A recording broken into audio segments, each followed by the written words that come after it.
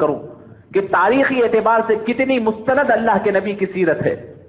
کامل اور جامع ہونے کے لحاظ سے سرکار دو عالم صلی اللہ علیہ وسلم کی سیرت کتنی مستند ہے۔ اور عملی لحاظ سے سرکار دو عالم صلی اللہ علیہ وسلم کی سیرت سیرت کتنی مستند ہے تو آپ اندازہ نہیں کر سکے۔ اللہ کے نبی صلی اللہ علیہ وسلم کی پیدائش ہونے سے لے کر کے وفات تک۔ اللہ رب العزت نے سرکار دو عالم صلی اللہ علیہ وسلم کی پوری زندگی کا ایک ایک لمحے کو محفوظ فرمایا۔ ایک ایک لمحے کو، صبح کو، شام کو، بچپنے کو، جوانی کو، چالیس سال کے بعد کی زندگی کو، مکہ مکرمہ کی زندگی کو، مدینہ طیبہ کی زندگی کو، جب محلے اور خاندان اور گھر کے اندر ہوتے وہ زندگی کو، سفر میں ہوتے ہیں وہ زندگی کو، رات کے اندھیرے کی زندگی کو، دن کے اجالے کی زندگی کو، دسترخوان پر بیٹھ کر کھانا کھا رہے ہیں وہ زندگی کو، اور بھوکے اور پیاسے ہیں پیٹ پر پتھر باندھا ہوا وہ زندگی کو اللہ کے نبی صلی اللہ علیہ وسلم جب اس دنیا سے پردہ فرمانے والے تھے، حجت الوداع کا موقع تھا عزیزان گرامی۔ حجت الوداع میں آپ نے تقریر فرمائی۔ تو فرماتے ہیں کہ اس وقت کم و بیش ایک لاکھ سے سوا لاکھ صحابہ وہاں پر موجود تھے۔ اور وہ تمام کے تمام صحابہ، ہر ایک اللہ کے نبی صلی اللہ علیہ وسلم کی کوئی نہ کوئی حرکت، کوئی نہ کوئی جز اور کسی نہ کسی جملے کے راوی ہے اور خود نبی کریم صلی اللہ علیہ وسلم نے فرمایا، فَلْيُبَلِّغِ الشَّاهِدَ الْغَائِبِ تم میں سے جو کوئی یہاں موجود ہے، نہیں رہنے والے کو بتا دو میری زندگی۔ اور آپ کو بتلاؤں کہ اس کا انتظام کیسے ہوا، کیسے محفوظ ہوئے؟ آپ تصور نہیں کر سکیں گے۔ اللہ کے نبی صلی اللہ علیہ وسلم کی زندگی کو محفوظ کرنے کے لیے اللہ نے باضابطہ ایسا نظر آتا ہے کہ خصوصی قوم کو اللہ نے پیدا کیا تھا۔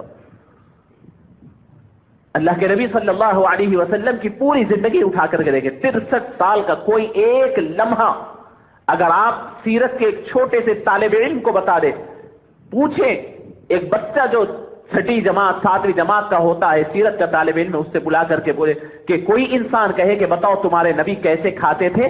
وہ بچہ قسم کھا کر کہتا ہوں، اللہ کے نبی کے کھانے کا طریقہ بتلائے گا، اللہ کے نبی کے سونے کا طریقہ بتلائے گا، اللہ کے نبی کے پینے کا طریقہ بتلائے گا، ان کے لباس کا طریقہ بتلائے گا، چلنے پھرنے کا طریقہ بتلائے گا، گفتگو کا انداز بتلائے گا۔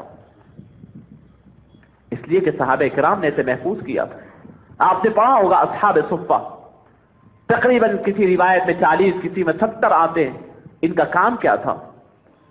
اللہ کے نبی صلی اللہ علیہ وسلم کے گھر کے باہر چبوترا بنا ہوا تھا، بس وہاں پر بیٹھے ہونا۔ باری مقرر کرتے۔ اور مسلسل ایک ایک لمحے کو اللہ کے نبی صلی اللہ علیہ وسلم کے ریکارڈ کرتے اور لکھتے۔ ہر پہلو کو لکھتے۔ اس جانب سے دیکھنے والا جو دیکھا وہ لکھتا اور اپنے ذہن میں محفوظ کرتا۔ اس جانب سے دیکھنے والے کو کیا دکھ رہا ہے وہ ویسے محفوظ کرتا۔ سامنے سے دیکھنے والے کو کیا محسوس ہوا ہے وہ دیکھتا ہے۔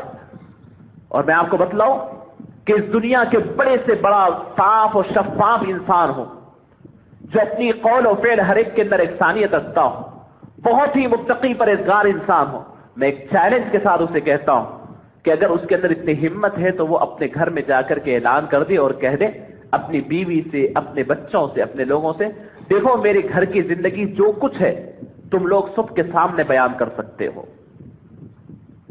کوئی ایک شخص ایسا ملے گا جو کہے گا کہ بھائی میری گھر کی زندگی جو کچھ میں کر رہا ہوں، اپنے بچوں کو بولوں کہ بیٹے، آ، میں جو کچھ کر رہا ہوں، اپنے نوکروں کو بولوں کہ میرے گھریلو حالات جیسے ہیں، جو کچھ ہے، تم جا کر کے لوگوں کے سامنے بیان کرو۔ اور زبردستی پابند کر دو کہ جاؤ لوگوں کے سامنے بیان کرنی چاہیے، تم کرنا ضروری ہے اور فرض ہے۔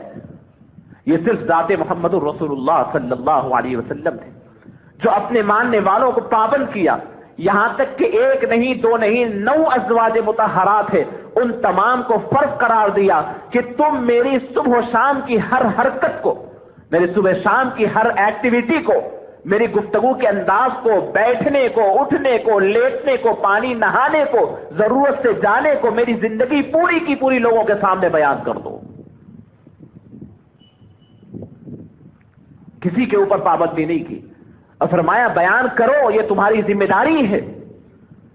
زندگی کے اندر کیسی اکسانیت تھی؟ کیسا توازن تھا؟ کتنا یقین تھا اپنی زندگی کے اوپر کہ میں باہر مطمئن ہوں، اپنی زندگی پر تو گھر میں بھی ہوں۔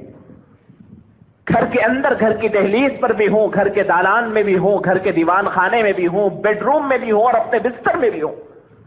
اپنے ازواج متحرات ایک انسان کتنا فری محسوس کرتا ہے اپنے بیویوں کے پاس جا کر۔ فرمایا اپنی ہر اہلیہ محترمہ کو۔ یہاں تک کہ سیدتنا عائشہ صدیقہ رضی اللہ تعالی عنہ کی کم عمری میں شادی اس لیے فرمائے کہ میرے بعد بہت دن تک یہ زندہ رہے اور بعد میں آنے والے کو راف طور پر گھریلو حالات لوگوں کے بولے۔ ہم تو پابند کرتے ہیں اپنی بیویوں کو، اپنے بچوں کو، گھر میں کام کرنے والوں کو کہ ہمارے گھر کی باتیں دوسری جگہ نہیں بولنا۔